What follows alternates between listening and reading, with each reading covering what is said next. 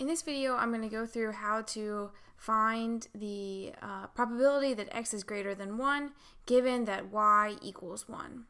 Okay, and so um, we have this funky support where x depends on y. All right, first thing uh, we're, we're going to want to do is we're going to find the marginal distribution of um, x given y. Okay, so first thing, let's find the marginal distribution of x given y, which is the joint distribution, by definition, is the joint distribution divided by the marginal distribution of y. Okay, so whatever is given, that becomes the denominator. All right, the marginal distribution of y. So first thing I'm going to want to do is find the marginal distribution of y. Okay, so this marginal distribution of y, in order to get the marginal distribution of y, you need to integrate out x. So you integrate the joint distribution, you integrate over x. By definition, that's what the marginal distribution is. So these two things, these two formulas I've written here are just definitions. Okay, all right, so now let's talk about integrating over x. And we have this support where x depends on y, right?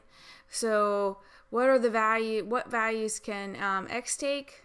x can take values between y and 2 and the value of f will be non-zero. Otherwise it's 0, right? So from negative infinity until we get to y, okay, and then y until we get to 2, Okay. And then 2 onwards to infinity.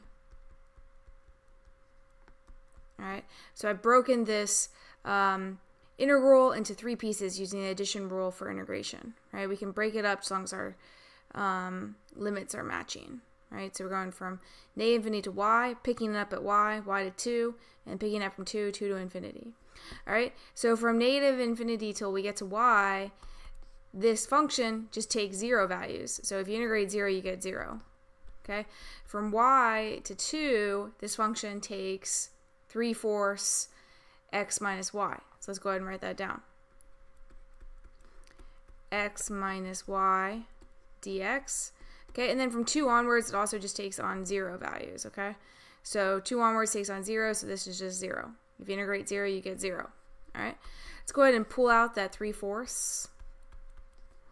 So I'll have, I'm integrating from y to 2, x minus y dx. Okay, so let's go ahead and do this integral. I'm integrating with regards to x, so that means this will become 1 half x squared. This is just a constant, so become y times x, evaluated from y to 2. Okay, so let's go ahead and continue this.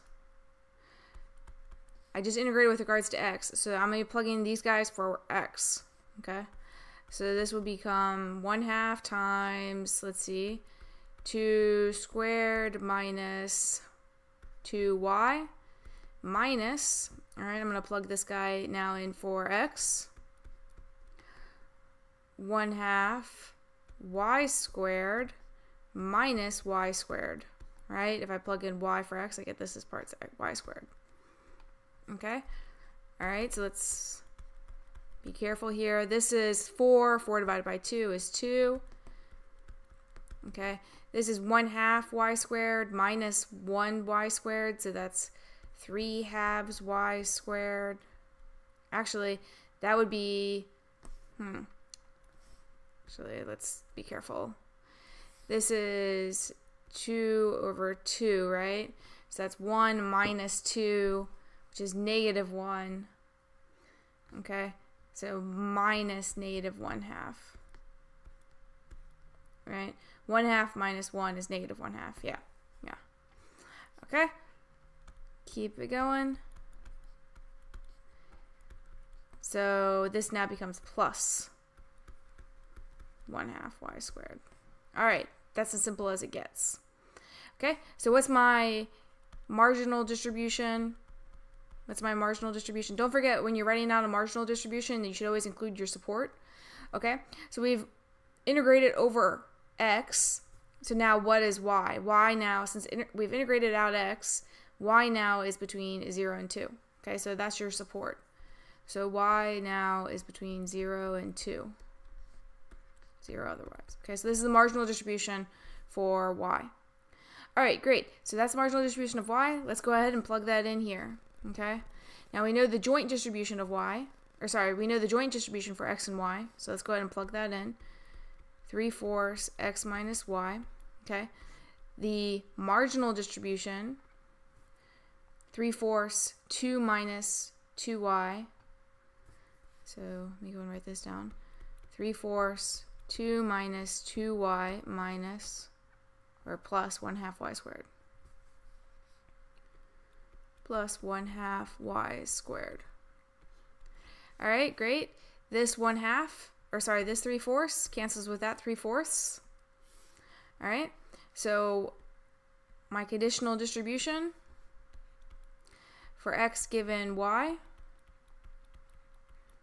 all right, is x minus y in the numerator and 2 minus 2y plus 1 half y squared in the denominator.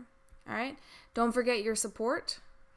Okay, even though, uh, so in this, um, you know, margin in a margin, or sorry, in a conditional distribution, y is not random, right? But even though it's not random, it still needs to meet the original conditions of the joint distribution. Okay, so y can't be equal to 3. If it if y is equal to 3, then the conditional distribution, you should still get 0 because the numerator would then be 0. Okay, so basically the support is still the same thing up here um, for your conditional distribution. So between 0 and 2. Okay, so let's go ahead and write that here. Alright, so y is greater than 0 is less than x, less than 2. Alright? All right, so great. So now I have the marginal distribution. Now the question was to find the probability x is greater than 1 given y equals 1. Okay, so the first thing I'm going to do is I'm going to, so I'm going to find given y equals 1. Okay, so that's first thing. Let's plug in our um, y equals 1 here. Okay, so y equals 1. That's, that's okay. So this is 1, sorry, x minus 1 divided by 2 minus 2, 1 plus 1 half times 1 squared. Okay, and so now your support changes a little bit because now y, remember y is fixed. So the support is 1x 2.